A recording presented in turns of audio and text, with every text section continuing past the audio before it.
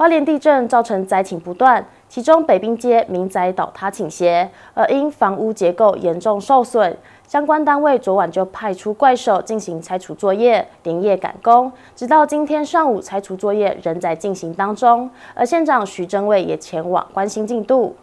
昨天上午发生规模七点二地震，造成花莲地区多栋建筑受损、走山与九人死亡。晚间除了北滨街半岛大楼拆除连夜进行，其余抢通抢救的工作是暂停，今早持续。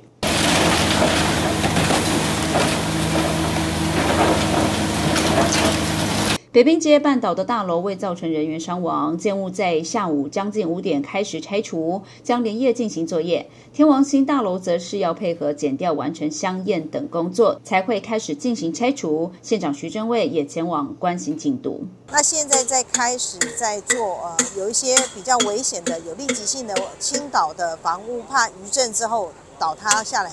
所以，那我们现在在开始进行呃北滨街的一栋民宿的这个呃拆除的部分，那也已经跟民众哈取得这个协调，那未来会拆除我们的北滨的民宿，还有隔壁的三个三个平房，因为是木造房屋，那它也是已经有这个结构性的危险了，那也都跟取得民众的同意。